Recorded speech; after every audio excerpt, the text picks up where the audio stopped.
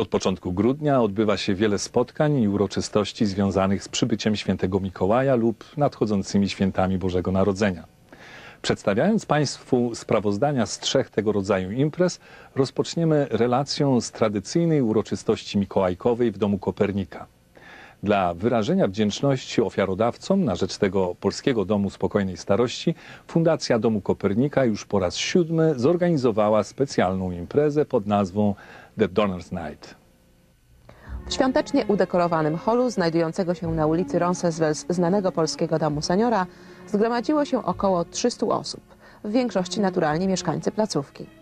Obecni byli też członkowie ich rodzin, pracownicy domu Kopernika i wolontariusze oraz grono darczyńców, których szczodrość ma duży wpływ na ulepszenie jakości życia naszych seniorów. Swym strojem wzrok przyciągała legendarna postać świętego Mikołaja, którego obecność na imprezie była jak najbardziej na miejscu, gdyż oprócz tego, że uroczystość odbywała się w dniu jego święta, on sam jest przecież niestrudzonym darczyńcą.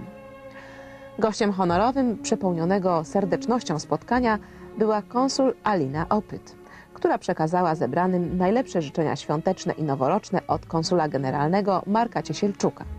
W imieniu organizatora spotkania, Fundacji Domu Kopernika, zgromadzonych przywitał jej prezes Andrzej Chomentowski, składając serdeczne podziękowania wszystkim donatorom i wolontariuszom, których bezinteresowna praca, choć w inny sposób, jest także darem.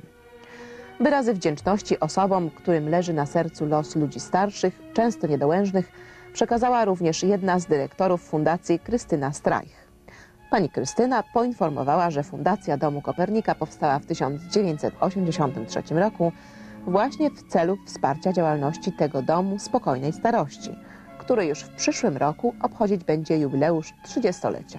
W swym wystąpieniu pani dyrektor przybliżyła konkretną działalność fundacji, organizowane przez nią różnego rodzaju akcji zbiórek pieniędzy, a także programy i cele, na jakie zebrane środki są przekazywane. Głos zabrał też mieszkaniec domu Kopernika, pan Roman Grocki, sam hojny ofiarodawca na rzecz placówki, starającej się stworzyć swym mieszkańcom takie warunki, by mogli nazywać ją swym domem. Pan Grocki, który niedawno już po raz drugi przeznaczył pokaźną dotację na rzecz domu Kopernika, złożył swym współmieszkańcom i przyjaciołom serdeczne życzenia świąteczne i noworoczne. Gorącymi oklaskami przyjęty został szlachetny gest braci Fujarczuków, Karola, Bolesława i Stanisława, którzy już po raz kolejny przekazali na ręce pani Strajch hojną dotację dla domu Kopernika. Jako ostatni w części oficjalnej głos zabrał przewodniczący Rady Dyrektorów Domu Kopernika Jesse Fliss. Były poseł federalny, nadal aktywny w życiu społeczności polonijnej, podziękował Fundacji Domu Kopernika za nieustanne, owocne działanie na rzecz Domu Seniora, panu Grodzkiemu, braciom Wujarczukom i wszystkim ofiarodawcom za ich otwarte serce i okazywaną pomoc, zaś szczególne słowa wdzięczności skierował pod adresem naszej Credit Union, która również przyznała domowi Kopernika kolejną szczodrą dotację. Jako wyraz wdzięczności ze strony domu Kopernika w najbardziej uczęszczanym miejscu budynku, czyli w windzie, umieszczono logo Credit Union z zaznaczeniem jej roli jako ofiarodawcy. Zresztą dobrych słów na temat Credit Union słychać było tego wieczoru więcej. O jej stabilności w okresie zagrażającej recesji mówił Jesse Fleece. Our accounts uh, are held at the credit union. And when you hear about the global crisis, we're not worried. We know our money is safe in the Polish credit union.